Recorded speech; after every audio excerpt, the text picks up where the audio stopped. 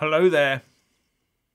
It has become apparent over the last few years, as the Brexit talks developed, that we now sorely need a UK equivalent of the US Logan Act.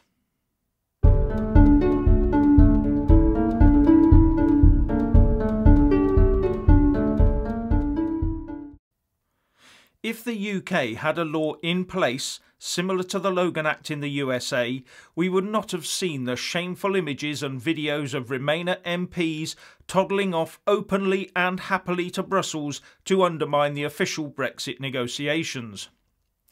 The Logan Act is a law that came into force in the US back in 1799 and it criminalises any negotiations by unauthorised people with foreign powers that the US has a dispute with.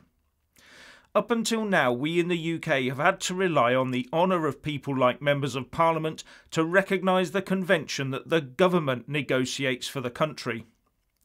But as we have seen throughout these Brexit talks, Remain minded MPs have become more emboldened every day to almost flaunt their anti Brexit activities where travelling for talks with Eurocrats and officials in foreign embassies is concerned.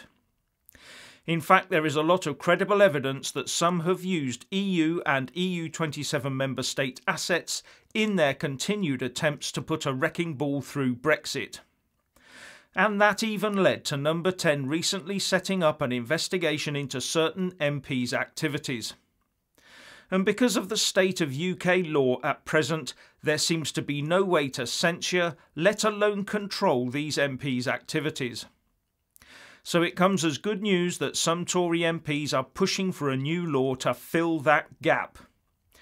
The MP that the Daily Mail says is most likely to put this forward is Andrea Jenkyns, who said over the weekend that the Prime Minister performed admirably to return from Brussels with the deal he did.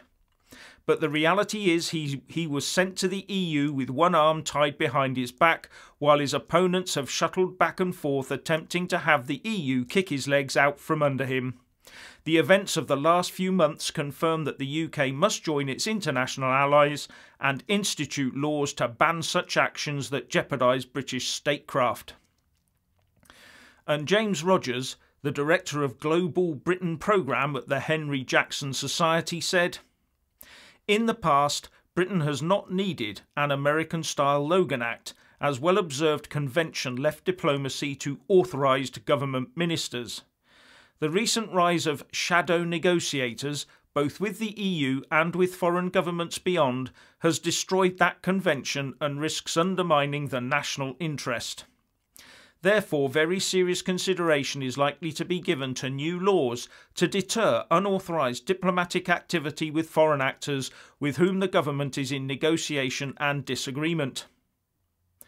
Now, I would suspect that Brexit has only brought this issue out into the open. Remember, MPs have always gone off on jaunts abroad, and if they do end up trying clandestinely to derail government policy, then we've probably, as ordinary voters, not been aware of it because they're not required to sign up to anything or covered by any law, and therefore no one can do anything about it anyway. So this would be a good move as far as I'm concerned. But I would also now like to see the rules within the House of Commons tightened up so that MPs are forced to operate within their own rulebook and any decisions made that come about through breaking those rules can be declared null and void by the courts.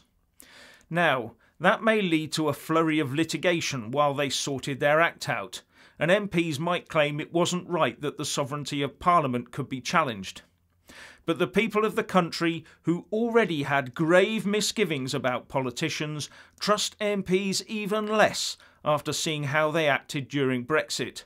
So these current MPs have damaged any right to trust that politicians had and have brought this situation upon themselves. Anyway, what do you think? Please share and comment and thank you for watching. Please do like and share this video and also subscribe to my channel. And when subscribing, please do remember to press on the little bell next to the subscribe button. That way you'll get an alert every single time I put up a new video. And thank you very much for watching.